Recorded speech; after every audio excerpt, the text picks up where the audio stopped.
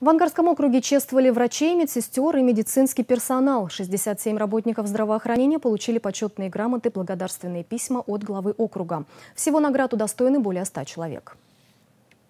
Я еще раз хочу э, слова благодарности э, произнести нашим медицинским работникам в этот великолепный день. Э, я хочу, наверное, пожелать вам самим здоровья, здоровья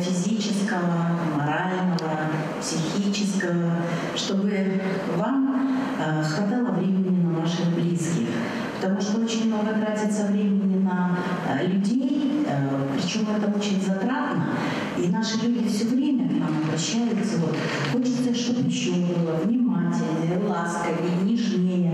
Потому что слово человека лечит. Не всегда медикаменты могут помочь. А вот отношения, оно, в общем-то, всегда поддерживает